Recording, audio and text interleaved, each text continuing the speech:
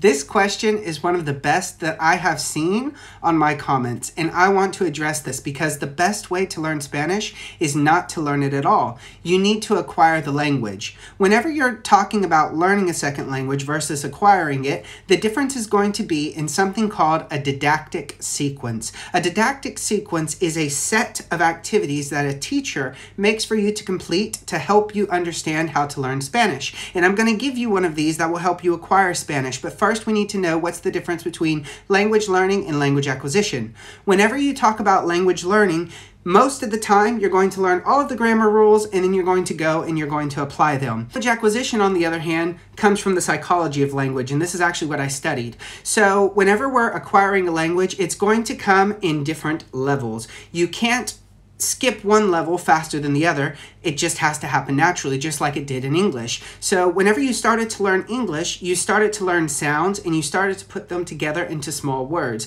The cool thing about being somebody who's older, not a toddler trying to learn a language, is that you can actually bypass this part. You can start putting words and sentences together much more quickly. However, in language acquisition, you're going to have to go through some things that might make you a little uncomfortable so you can acquire the language. So, let's look at a didactic sequence that you can use in Spanish to help you learn how to introduce yourself to someone and start speaking Spanish sooner than later. Do you find a video of people introducing themselves in Spanish, speaking to native Spanish speakers. It will let your ears understand what people are saying, and it'll also help you to understand the flow of the language if you listen closely, and you'll also start to understand how to respond to certain things that people might ask you when you first meet them. Second part in this didactic sequence would be to write out introductions for people. So pretend that you are two different people, write the introduction for one and what the person will respond, and kind of create a small dialogue between two people speaking. This is going to help you to develop your spoke your written Spanish